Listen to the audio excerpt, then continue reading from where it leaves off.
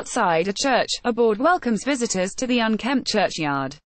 Pamphlets in the church describe the wildlife and defend the policy, for there have been complaints. But when Mark Cocker visits the churchyard, he finds the ryegrass monoculture now so familiar in Britain. Even the daisies are missing. A broad-spectrum herbicide has killed them. Traditional yews have been replaced with leylandii that support almost no insect species. Other trees have ivy, a vital source of nectar for autumn insects. But the leaves are brown and crinkled. Each stem has been cut at the base. Chippings on many graves stop plants from growing. The only wildlife he sees is a patch of brambles and the remains of a sparrowhawk's pigeon. Yet the notice board and the pamphlets seem sincere. The complaints about untidiness were probably strongly felt. Nearby, he comes to a farm that grows daffodils. This is the Easter flower, Wordsworth's dancing flower, the flower that represents spring. But these daffodils are another monoculture. In lifeless soil, huge numbers stand in lines, their concentrated yellow resembling the color of paint or plastic. Yet in people's homes they will seem to breathe spring's abundance.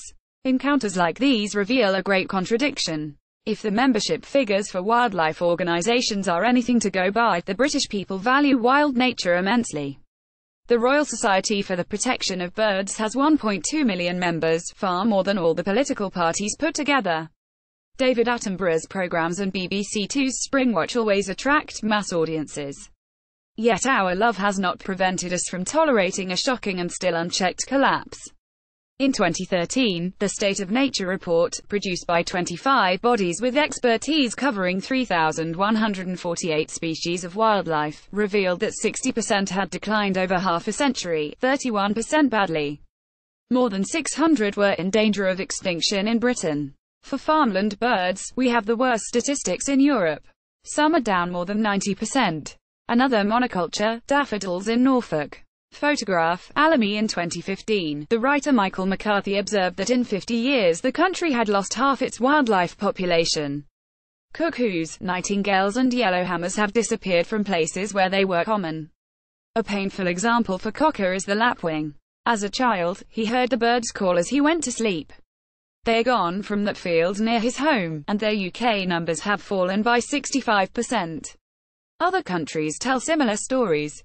A recent report from Germany reveals a 75% loss of insect abundance over 27 years, attributed to pesticides and herbicides, while in France bird populations have dropped by a third in 10 years. If these trends continue, wild nature's variety will be gone from our daily surroundings. Why are we allowing this to happen? The question makes our place more urgent than any of Cocker's previous writing. His search for answers takes three directions. He travels, to see the contradiction at work in places such as the churchyard and Daffodil Farm. This journey, in the genre of William Cobbett's Rural Rides and George Orwell's The Road to Wigan Pier, shows him spaces where wildlife is cherished and where it has been all but obliterated. He starts on the Norfolk coast, where nearly all the land belongs to wildlife organizations, though not far inland, lie the agricultural prairies. Nightingales have vanished from places where they were once common. Photograph, Christopher Tudor, Alamy Cocker's second quest is historical. What are the roots of the contradiction? He gives us the tangled histories of the National Trust, the RSPB, the Wildlife Trusts and the Nature Conservancy, the main conservation bodies that throughout the 20th century acquired land and fought to influence legislation. At the same time, the policies and technologies were emerging that would deliver cheap food in unprecedented variety to a growing population but would prove calamitous for wildlife. Cocker looks at these, too, with special attention to the subsidies that have incentivized unnecessary destruction. The Common Agricultural Policy is certainly one culprit, but not the only source of the evil. Many subsidies had their origin in wartime shortages of food and timber. He singles out historical clashes, the Kinder Scout trespass in 1932, the unsuccessful fight to stop Durham's reservoir at Widdybank in 1971, and the partly successful campaign to save the Flow Country blanket bog in the 1980s. Widdybank has spring gentians, and plants from the post-glacial period. Scotland's Flow Country, Brown Bog is eerily beautiful. Moss has created a miniature forest, in a rare place in Britain where trees are naturally absent. Here Cocker's writing becomes richly sensuous, and there is emotional release. But in this book matters are too urgent to linger. The power of those landscapes has not in the past provided a sufficient reason to search for alternatives to the industrial plans. Why not might the British love of wild nature belong too much to a transient, if lingering, historical moment? The final intertwining strand is Cocker's discussion of values, and here he faces uncomfortable questions. Were the defenders of Widdybank and the Flow Country wrong to rely so exclusively on the argument that the places were valuable to science? There are two legal designations that afford a place some protection.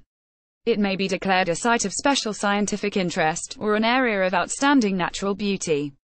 Interpreted generously, the second term encompasses the whole variety of cultural and emotional reasons people have for loving nature. But neither criterion is adequate alone.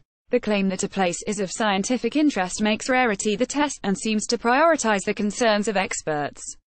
Cocker concludes the book with tentative recommendations, one of which is that scientific names should be used rather less, and new vernacular names chosen if the old ones have not survived. Another, in wistful utopian tones, is that gardeners should place much more value on unkempt beauty. But cultural, aesthetic and emotional valuations are relative and subjective. Cocker begins to face the possibility that the British love of wild nature might belong too much to a transient, if lingering, historical moment, an era when the transition from pre-industrial rural life was still recent. The love of wildness was part of the colonial imagination, and romantic poetry was highly influential. Does our love now carry too many vestiges? Ordinary experience used to include wild, non-human nature. It was around people as they worked and loved and took part in ritual. Wild creatures were a constant source of dramatic and mythical meaning. Why else do so many birds feature in poetry? One reason for the melancholy now felt by nature lovers is that the loss of wildlife threatens our ability to renew these meanings. And in times of environmental danger, we need to be skilled, collectively, at recognizing the intricate links between ecosystems. The presence of wildlife teaches us this. At least Cocker argues, the collapse should not be allowed to occur without communal soul-searching. His title, Our Place, challenges Britain, in its social, ethnic and generational diversity, to begin the conversation. This resourceful and eloquent book could prove to be important. Our Place by Mark Cocker Cape, £18.99. To order a copy for £13.99, go to guardianbookshop.com or call 0330 333 6846. Free UK PP over £10, orders only. Phone orders min. PP of £1.99.